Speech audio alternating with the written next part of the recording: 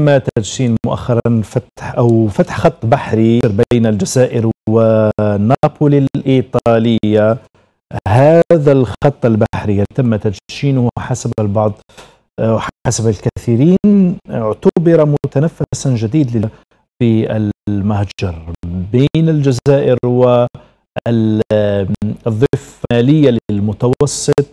هناك خطوط بحرية بين مع إسبانيا وإيطاليا كذلك الآن خط مع مدينة نابولي. معنا للحديث أكثر في هذا الموضوع المستحدث عبر سكايب. سمير شعبنا إعلامي مهتم بشؤون الجالية الجزائرية سمير مرحبا بك. آه هذا الخط آه الجديد بين نابولي الإيطالية.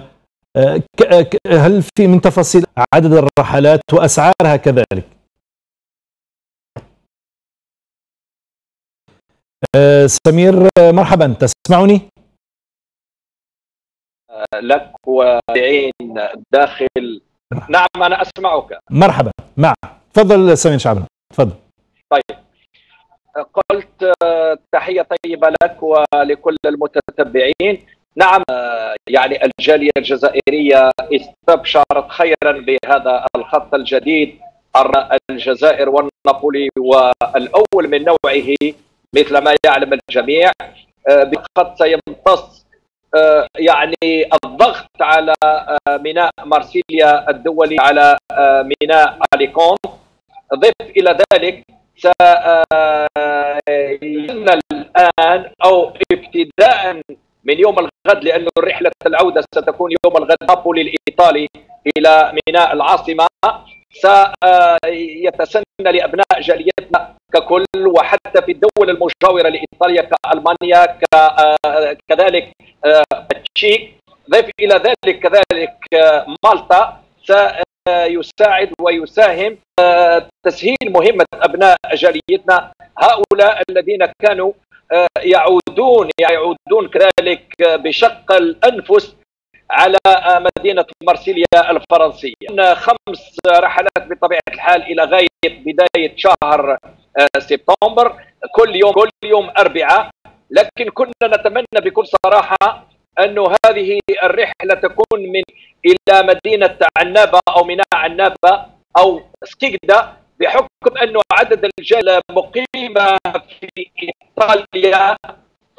تنحدر من هذه المناطق البلاد من مدينة عنابة من مدينة سكيكدا فتمنينا ذلك. لكن لا بأس انه هذه يكون على العاصمة الجزائرية لأنه لا يخفى لك ولا يخفى للجميع كذلك أنه فيه ضغط كبير كالشرقية للبلاد وبالتالي هذه أول رحلة يعني استبشر استبشر الجالية الجزائرية خير واستحسنتها وتتمنى كذلك أن تكون رحلات أخرى هي أخرى كمدينة جينوفا التي سبق لها وأن احتضنت وإن استقبلت كذلك في السنوات الماضية حمزة.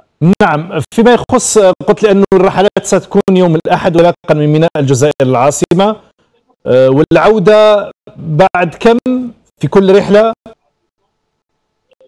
برحلة العودة؟ لا يخفو إيطاليا بعيدة بطبيعة الحال مقارنة بمدينة الايقونيه إذا أخذنا بالاعتبار المسافة الرابطة بين على سبيل المثال وهران وإسبانيا قول تتعدى العشر ساعات على أقصى شيء. مارسيليا على سبيل المثال الجده 16 ساعة. يعني إلا أن المسافة التي تربط ميناء نابولي الإيطالي للجزائر العاصمة أزيد من 28 ساعة يعني كاملة. هذه رب المسافرين وحتى طاقم الباخرة وحتى كذلك يعني إذا أخذ الاقتصادي نسبة الفيول أو نسبة البنزين ستكون أكثر بكثير. فبصراحة المتعة والفرجة على متن الباخرة الجزائرية يعني شدت الرحال صبيحة هذا اليوم لتصل إلى نابولي مساء يعني الرحلة تكون تكون بالأحد والعودة بالأربعاء هكذا سمير إذا من نابولي؟ لا لا لا فيه رحلتين فيه رحلة يوم فيه رحلات يوم الأربعاء الأحد وفيه رحلة يوم الأربعاء. يعني هي رحلة ذهابا ايابا بطبيعه بكل صراحة يعني البواخر الجزائرية سخرت يعني 100% إن صح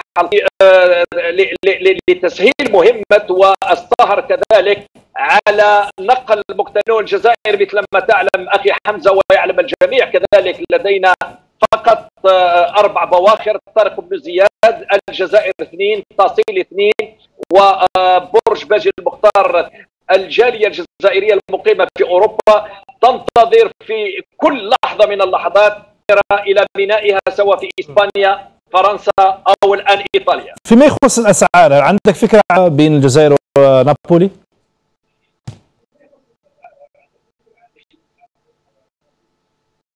الأسعار أخي حمزة بكل صراحة ويبقى الشغل الشاغل يعني عندما تتحدث اهم, أهم حتى من يعني من خط الرحلة في حد ذاته. سؤال آه، يطرحه المغترب هل الأسعار وأنت تناولت ذلك أخي حمزة في العديد من برامجك والشروق هي مشكورة على ذلك انشغال الجالية حول موضوع الأسعار في كل برامجها وكل تقاريرها التلفزيونية. آه، بالنيابة يعني وعد أقول ان نحو إيطاليا ستكون أقل آه، سعرا وأقل تكلفة آه، يعني من الأسعار. طرح أو المفروضه إن صح القول على آه، على فرنسا لأنه ضغط كبير على فرنسا. هي في فرنسا أزيد من 5 مليون وبالتالي الشركة على ما أظن تستفيد وتريد كذلك أن يعني كلها مدخول خلال بعد الأزمة التي عرفتها منذ سنتين كاملتين بسبب جائحة الكورونا والمالية الاقتصادية. في حدود كم في حدود كم تكون سعر تقريبا سمير؟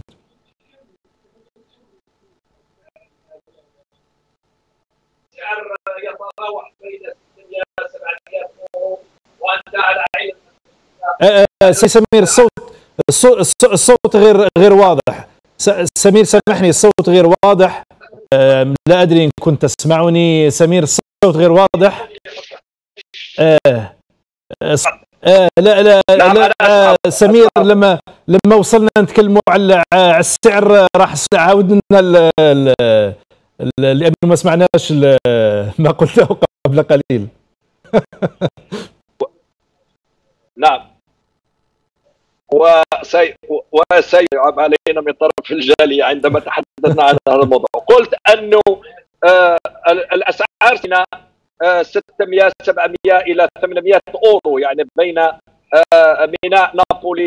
لكن أنت على علم أخي حمزة وعلى علم كل يعني المتتبعين أن المغتربون الجزائريين عندما يريدون العودة إلى أرض الوطن الوطن عفوا على متن البواخر وعلى متن عادة ما يريدون العودة بمركبتهم يعني بسياراتهم وبالتالي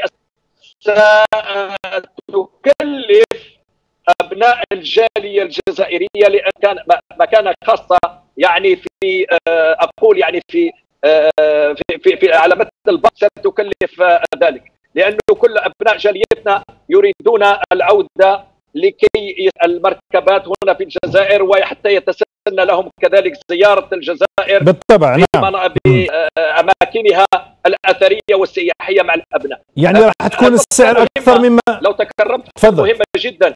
أنه هذا الخط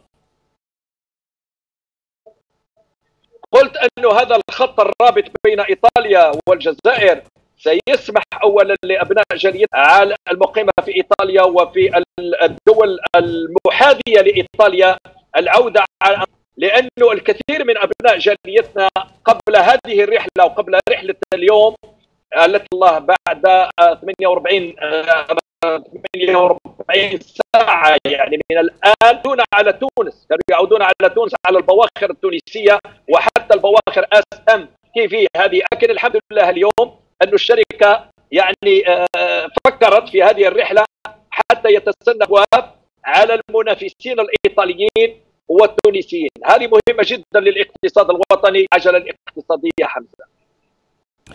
سمير شعبنا الإعلامي والمهتم بشؤون الجالية الجزائرية Skype شكرا جزيلا لك.